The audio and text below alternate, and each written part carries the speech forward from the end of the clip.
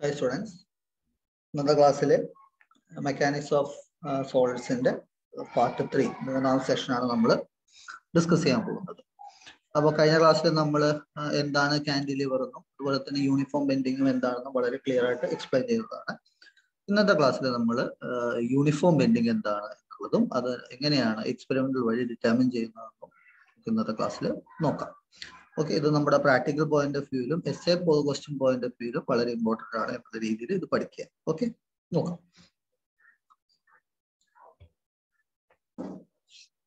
Uniform bending നോക്കുക. Consider a beam of negligible mass supported symmetrically on two knife edges A and B at in horizontal level ഇതാണ് നമ്മുടെ uniform ബെൻഡിങ്ങിൽ പറയുന്നത്. Non uniform ബെൻഡിങ്ങിൽ നമ്മൾ എന്താ ചെയ്തത്? നടുക്ക് നമ്മൾ മാസ് ഇട്ടിട്ട് അത് താഴ്ത്തോട്ട് അല്ലെ? ഡൗൺവേർഡ് ഡയറക്ഷനിൽ കർവ് ഫോം ചെയ്യുമ്പോൾ യൂണിഫോം ബെൻഡിങ്ങിൽ എന്താ ചെയ്യുന്നത്? ഒരു നീ എഡ്ജിന് equal distance away we are keeping two masses equal masses നമ്മൾ പ്ലേസ് ചെയ്യുമ്പോൾ അത് ബൾജ് ചെയ്ത് പുറത്തോട്ട് വരും. ഇങ്ങനെ ഒരു അറേഞ്ച്മെന്റിനെയാണ് എന്തെന്ന് വിളിക്കുന്നത്? യൂണിഫോം ബെൻഡിങ് എന്ന് വിളിക്കുക. സോ എങ്ങനെയാ നോക്കാം? Equal weights W and W are suspended from the beam at the point C and D കണ്ടോ? ഇവിടെയും ഡബ്ല്യു എന്ന് പറയുന്ന വെയിറ്റ് ഇവിടെയും ഡബ്ല്യു എന്ന് പറയുന്ന വെയിറ്റ് സസ്പെൻഡ് ചെയ്തിട്ടുണ്ട്. ഈ നീഫർജും ഇത് നമ്മുടെ ഡിസ്റ്റൻസ് എത്രയാണ്? പി ആണെന്ന് മാർക്ക് ചെയ്തിട്ട് and that distance on either side to be equal the reaction set A and B will be W and then act vertically upwards അതുകൊണ്ട് ഇതിന്റെ റിയാക്ഷൻസ് എങ്ങോട്ടായിരിക്കും? മുകളിലോട്ടായതുകൊണ്ട് ഈ ബെൻഡ് ചെയ്യുന്നത് എങ്ങോട്ടായിരിക്കും? മുകളിലോട്ടായിരിക്കും അപ്പോ consider the cross section of the beam at any point P the only forces acting on the part P C or the beam are കണ്ട? ഈ P സിയിൽ ആക്ട് ചെയ്യുന്ന ആകെ ഫോഴ്സ് എന്ന് പറയുന്നത് എന്താണ്? ഡബ്ല്യു ആണ്. Due to the downward force ഇതിന്റെ റിയാക്ഷൻ ഫോഴ്സ് എയിൽ ഉണ്ടാവുന്ന എന്താണ്? അപ്വേർഡ് ആയിരിക്കും. അങ്ങനെ അത് എന്താണ് നള്ളിഫൈ ചെയ്തു. So downward and the reaction W at a upwards അപ്പോൾ അപ്പൊ ഇവിടെ ഉണ്ടാവുന്ന ബെൻഡിങ് ബെൻഡിങ് കാണാനുള്ളത് the external bending of the moment with respect to P ഈ പി എന്ന് പറയുന്ന പോയിന്റിലുള്ള മൊമെന്റ് എത്രയായിരിക്കും എന്നുള്ളതാണ്. അപ്പൊ അവിടുത്തെ റിയാക്ഷൻ ഫോഴ്സ് എന്ന് പറഞ്ഞാൽ ഡബ്ല്യു ആണ്. ഇനി ഈ ഡിസ്റ്റൻസ് ആണ് നമ്മൾ എടുക്കേണ്ടത്. ഈ ഡിസ്റ്റൻസ് ഏതാണ്? C P minus A P ആണ്. കാരണം നമ്മുടെ വെയിറ്റ് എടുത്തിരിക്കുന്നത് എവിടെയാണ്? ഇതിലാണ്. അതുകൊണ്ടാണ് ഇതിന്റെ എടുത്തിരിക്കുന്നത്. P is equal to W into C P minus A P what is C P minus A P ഈ ഫിഗർ പ്രകാരം എത്രയാണ്? എ സി ആണ്. അപ്പൊ എ സിയുടെ വാല്യൂ എന്ന് പി ആണ്. അപ്പൊ എക്സ്റ്റേണൽ ബെൻഡിങ് നമുക്ക് എന്ത് പറയാൻ പറ്റും? ഡബ്ല്യു ഇന്റു പി എന്ന് പറയാം.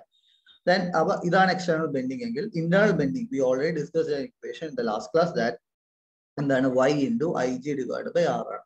അപ്പൊ ഇത് രണ്ട് ഇക്വേറ്റ് ചെയ്ത് കഴിഞ്ഞാൽ W into P is equal to Y into I G divide by R എന്ന് കിട്ടും. ഇതിൽ നിന്ന് ആർ ഇസ് ഈക്വൽ ടു നമുക്ക് എന്ത് പറയാം? Y I G divide by W into P ഇവിടെ ആർ എന്ന് പറയുന്നത് ഇത് ഇത് ഉണ്ടാവാവുന്ന ഒരു സർക്കുലർ ഷേപ്പിനെയാണ് ഈ ബെൻഡിങ് കൊണ്ട് ഉണ്ടാവുന്ന ഇത് എക്സ്റ്റെൻഡ് ചെയ്ത് വരുമ്പോൾ ഇവിടെ ഒരു സർക്കുലർ ഷേപ്പ് ആയിരിക്കും വരെ അതിനെയാണ് നമ്മൾ ആർ എന്ന് പറയുന്നത്. We are going to determine ആ ആറിന്റെ വാല്യൂ എത്ര എന്നുള്ളത് കണ്ടുപിടിക്കാം. Now, here R is a constant, hence the bending moment of the bending of the beam is uniform. ഇനി ഈ ആറ് കണ്ടുപിടിക്കാൻ വേണ്ടി നമ്മൾ ചെയ്യുന്ന എങ്ങനെ നോക്കാം? Let H B the elevation of the middle point E ആ മിഡിൽ പോയിന്റ് നമ്മൾ എടുത്താൽ അവിടുത്തെ ബെൻഡിങ് എന്ന് പറയുന്നത് ഇ ആണ്. അപ്പൊ അത് കംപ്ലീറ്റ് ചെയ്താൽ we are getting a circle ആ സർക്കിൾ ആണ് നമ്മൾ കംപ്ലീറ്റ് ചെയ്തിരിക്കുന്നത്. ഈ തൊട്ട് മുമ്പത്തെ ഫിഗർ നോക്കി കഴിഞ്ഞാൽ ഇതാണ് ഇ എന്ന് പറയുന്നത്. ഇത് എയും ബിയും ഈ ഒരു പാർട്ട് ഈ ഒരു പാർട്ട് കംപ്ലീറ്റ് ചെയ്യുമ്പോൾ we are getting a circle ആ സർക്കിൾ ആണ് ഈ കാണിച്ചിട്ടുള്ളത് എ ബി. അപ്പൊ അത് നമ്മളൊരു സർക്കിളിന്റെ ഒരു പാർട്ടാണ്. ഇത് നമ്മൾ എന്ത് ചെയ്യുന്നു ഒരു സർക്കിൾ ആയിട്ട് കംപ്ലീറ്റ് ചെയ്യുന്നു. മനസ്സിലാവുന്നുണ്ടല്ലോ?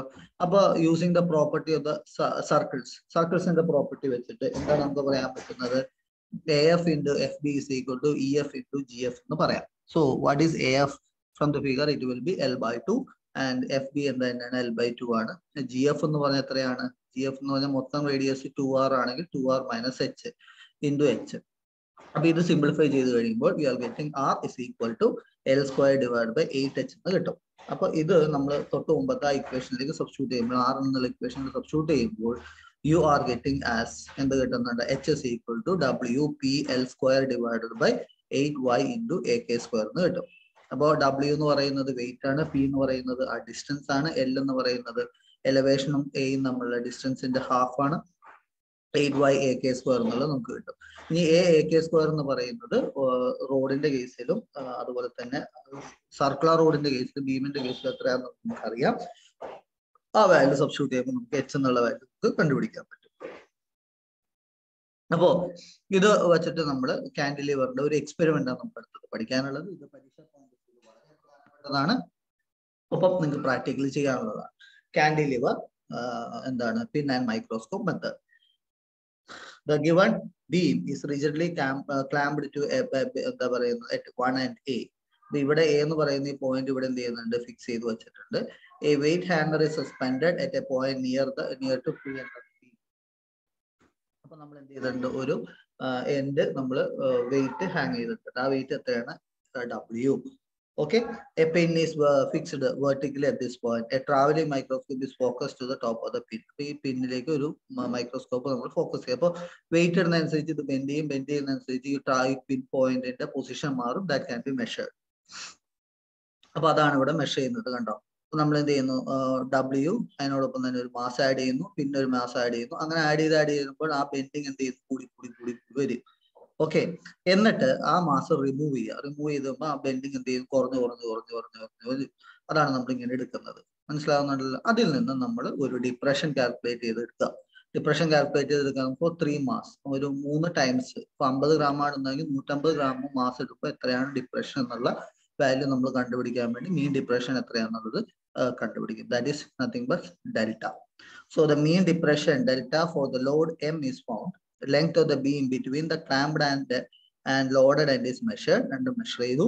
The mean breadth b and the thickness are are determined ഇതിന്റെ ബ്രെഡ്ത്തും അതുപോലെ തന്നെ തിക്നെസ്സും നമ്മൾ ഡിറ്റർമിൻ ചെയ്തു. അത് നമ്മുടെ ഇക്വേഷൻ നമ്മൾ സബ്സ്റ്റിറ്റ്യൂട്ട് ചെയ്യുക. അപ്പൊ എന്താ കിട്ടുന്നത് ഡിപ്രഷൻ കാൽക്കുലേറ്റ് ചെയ്യാൻ ഇക്വേഷൻ എന്തായിട്ട് മാറും? Four M G L cube by B D cube into Y ആണ്. ഇതിൽ നിന്നും വൈ ഇസ് ഈക്വൽ എന്ത് പറയാം? Four into M G L square B D cube into delta ഇതിലെല്ലാം നമുക്ക് നോൺ വാല്യൂസ് ആണ്. എം എന്ന് പറഞ്ഞാൽ നമ്മൾ അവിടെ ഇട്ടിരിക്കുന്ന മാസ് ആണ്. ഇവിടെ ത്രീ എം ആണ് നമ്മൾ ഫിക്സ് ചെയ്തിരിക്കുന്നത്. ഓക്കെ അപ്പോൾ നമ്മൾ ഇടുന്നത് അമ്പത് ഗ്രാമിന്റെ മാസ് ആണെങ്കിൽ ക്യാപിറ്റൽ എം എന്ന് പറയുന്നത് ത്രീ എം ആണ്. അതിന്റെ വാല്യൂ എത്രയായിരിക്കും? വൺ ഫിഫ്റ്റി ഗ്രാം ആയിരിക്കും. G acceleration due to gravity L L length B അതിന്റെ ബ്രെഡ്ത്ത് ഡി അതിന്റെ തിക്നെസ് ഡെൽറ്റ ഡിപ്രഷൻ ഈ വാല്യൂസ് നമുക്ക് കിട്ടിക്കഴിഞ്ഞാൽ നമുക്ക് ആ മെറ്റീരിയലിന്റെ എന്ത് കണ്ടുപിടിക്കാൻ പറ്റും യങ്സ് മോഡൽസ് കണ്ടുപിടിക്കാൻ പറ്റും എന്ന് പറയുന്ന വളരെ സിമ്പിൾ ആയിട്ടുള്ള ഒരു എക്സ്പെരിമെന്റ് ആണ് നമ്മളിവിടെ പഠിച്ചിട്ടുള്ളത്. ഓക്കെ അപ്പൊ ഇന്നത്തെ ക്ലാസ്സിൽ ഇത്രയും പറയാം. ബാക്കി ഞാൻ അടുത്ത ക്ലാസ്സിൽ പറയാം. Okay thank